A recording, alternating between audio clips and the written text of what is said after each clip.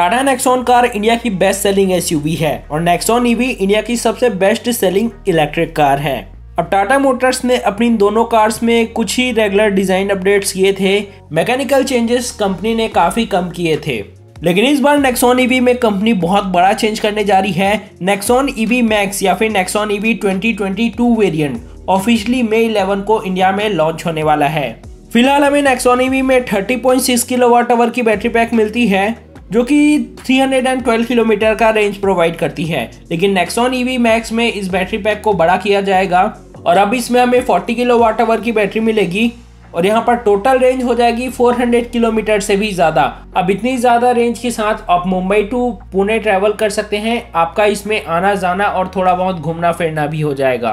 अब यहाँ पर बैटरी पैक के साइज़ को बढ़ाया गया है तो इस कार का वेट भी बढ़ गया है। और अब इस बढ़े हुए वेट को हैंडल करने के लिए टाटा कंपनी अपनी नेक्सॉन ईवी कार में पावर भी बढ़ा रही है। पहले इसमें हमें 127 bhp की पावर मिलती थी, लेकिन अब इसका इलेक्ट्रिक मोटर 136 एचपी की पावर प्रोड्यूस करेगा।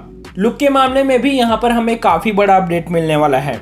इसका जो फ्रंट लुक है, वो टोटली चेंज होगा प्लस इसमें हमें अब फाइव स्पोक अलॉय व्हील्स मिलने वाले हैं। पहले हमें नेक्सोनिमी में रियर साइड में ड्रम ब्रेक्स मिलते थे, लेकिन अब इसमें फ्रंट में as well as rear side में भी डिस्क ब्रेक्स मिलेंगे। इसके इंटीरियर्स में भी कुछ चेंजेस हो सकते हैं।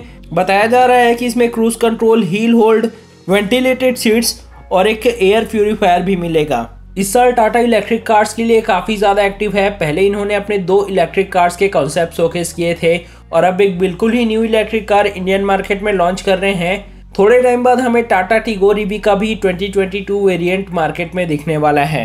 खैर नेक्सॉन ईवी मैक्स की बात करें तो इसकी pricing around 16 lakh rupees expected है। लेकिन हो सकता है काफ़ी लोग इस प्राइस को पे ना कर पाए। इसलिए काफ़ी हद तक चांसेस हैं कि जो नेक्सॉन ईवी का करेंट वेरिएंट है, वो भी टाटा सेल करे। तो अब कस्टमर्स के पास अपनी रिक्वायरमेंट के हिसाब से मल्टीपल ऑप्शंस हैं।